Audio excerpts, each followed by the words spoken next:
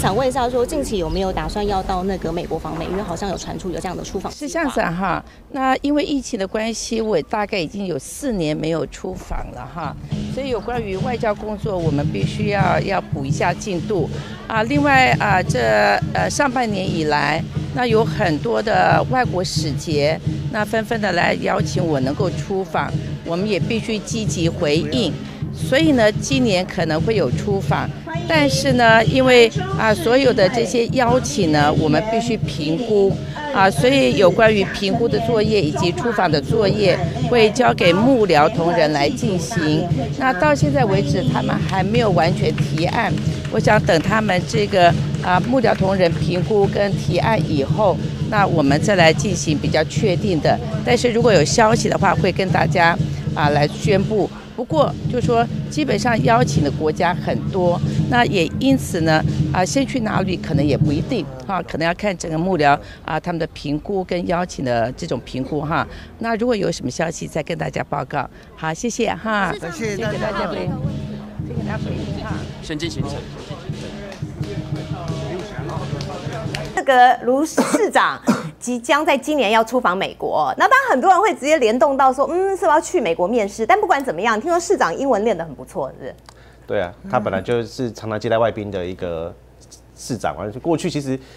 不然 A I T 也好，然后欧洲商会、美国商会，然后各国的法国、西班牙驻外代表都在台中办活动，那都市长出来接待。那台中估计这些年其实也办了非常多国际级的赛事跟活动了，所以其实外宾还有这个就是外商来台中市的这比例还蛮高的，所以上市长对外的沟通。表达能力其实本来比大家认识的还好，因为其实大家平常听他听他都讲国语嘛，那字正腔圆的这个主播出身的，但是他其实他在接待外宾的这部分其实是有一定的水准。嗯，好，那他今年去美国？啊，对，今年去美国，其实我要讲，其实还好是今年去啊，如果他是后年再去，哇，那个政治意这个政治意义会更强大。为什么这时候去美国？其实坦白说，过去本来立台中市市长过去都有访美的一些记录，那包含说之前胡志强也好，林佳也好，他们都有规划去。那市长一上来之后，其实第一时间先去欧洲啊，我先去欧洲看一些市场，因为那时候台中市要做一些市场的改建，那所以那时候在在我们地方上有些市场改建的确是参考一些欧洲的一些随一些一些范本来做台中那些改建，包含说后续很多后后来规划巨蛋啊，后来规划绿美图，规划这会展中心等等的，很多是参考这个欧洲当地的这这个这个状况。那我想当初也有规划去访美，第一任期的时候，但是因为后来就遇到疫情啊，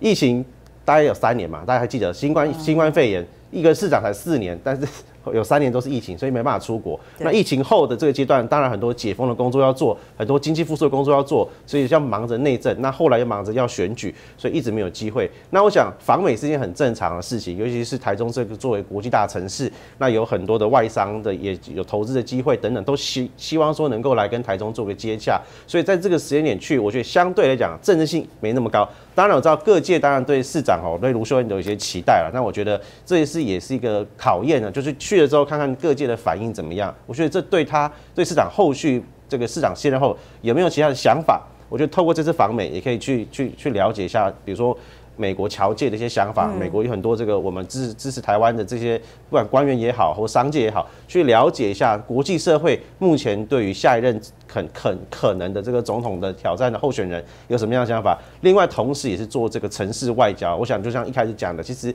这几年国民党的政治人物在这国际舞台上面能够发言的管道、沟通的管道，相对民进党的确少了非常多。那我觉得中生代或者新生代应该要去担负起这个重要的责任，去把过去。遗失的这一块，赶快把它接起来。尤其现在这些地方首长，赶快把它接起来。那立法院有这个江启臣副院长呢，担任这个台美这个联谊会这个这个这个荣誉会长嘛。那台中有这个重要这个城城市的市长，能够把这一块对接起来，我想对整个国民党在国际社会上的发声也会比较有方向，而且。过去的真的太太长期以来，我们听到很多美国智库朋友在讲说，嗯，过去这几年都只听到民进党的朋友在讲话，很少听到国民党立场是什么。那我觉得透过这个机会，能够把国民党立场跟美国好好的这个沟通一下，我觉得是个好事。